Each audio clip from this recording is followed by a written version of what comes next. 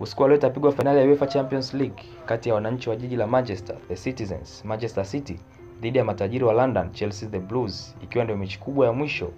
kabla ya kwenda kwenye mashindano ya UEFA Euro yatakayoanza rasmi tarehe 11 mwezi wa sita. Fainali ya kukata na shoka itapigwa kwenye uwanja wa Estadio de Dragao pale nchini Ureno, ikiwa ni uwanja unaomilikiwa na timu ya FC Porto ukiwa umejengwa mwaka 2003 na kuanza kutumika katika mashindano ya UEFA Euro mwaka 2004.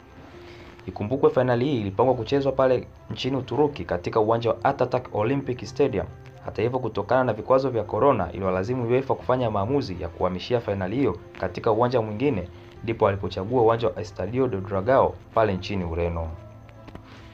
Kumekuwa na wasiwasi mkubwa sana kuhusu uwepo wa mashabiki uwanjani kutokana na changamoto au vikwazo vya corona kushuhudia fainali hiyo. Jambo jema ni kuwa mamlaka ya nchi ya Ureno imetoa nafasi kwa mashabiki 16500 tu ambao ni sawasawa na asilimia 33 ya uwezo wa uwanja huo, na kila timu imepewa nafasi elfu sita kwa mashabiki wake, huku kila timu ikipewa nafasi ya kuuza tiketi zao wenyewe, na tiketi 1700 zimetengwa kwa ajili ya mashabiki wengine watakaotaka kushuhudia fainali hizo za kihistoria. Kuelekea mchezo huu wa fainali, mwamuzi atakayechezesha fainali hiyo atakuwa ni Antonio Miguel Mateo Lahoz. Huyu ni Mhispania mwenye umri wa miaka 24 na akiwa ni mwamuzi mzoefu akiwa amechezesha mashindano makubwa mbalimbali, kwa mfano kama vile mashindano ya kombe la dunia mwaka 2014 na 2018.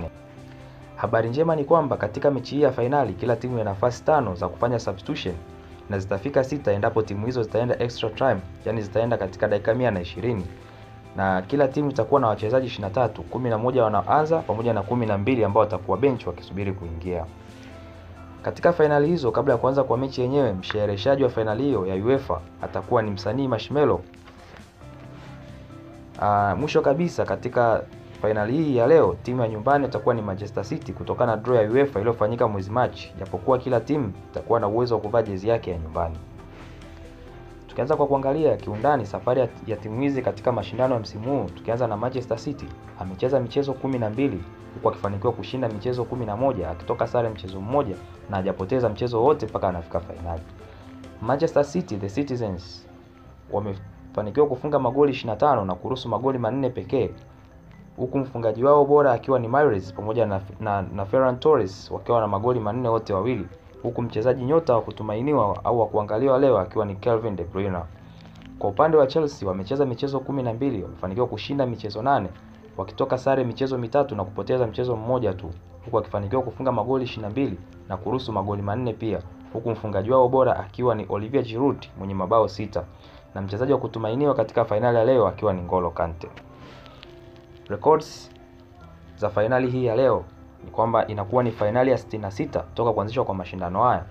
huku Tuchel msimu huu akiwa ameweka rekodi ya kuwa kocha wa kwanza kabisa kufika fainali mbili mfululizo huku akiwa na timu mbili tofauti. Kumbuka katika msimu uliopita alifanikiwa kuifikisha Paris Saint-Germain katika fainali ambao alipoteza dhidi ya Bayern Munich the Bavarians kutoka nchi ya Ujerumani. Edward Mendy anakuwa ni kipa wa kwanza kabisa kutoka Afrika kucheza fainali ya UEFA. Ikumbukwe kwamba hakuna kipa yoyote kutoka katika bara la Afrika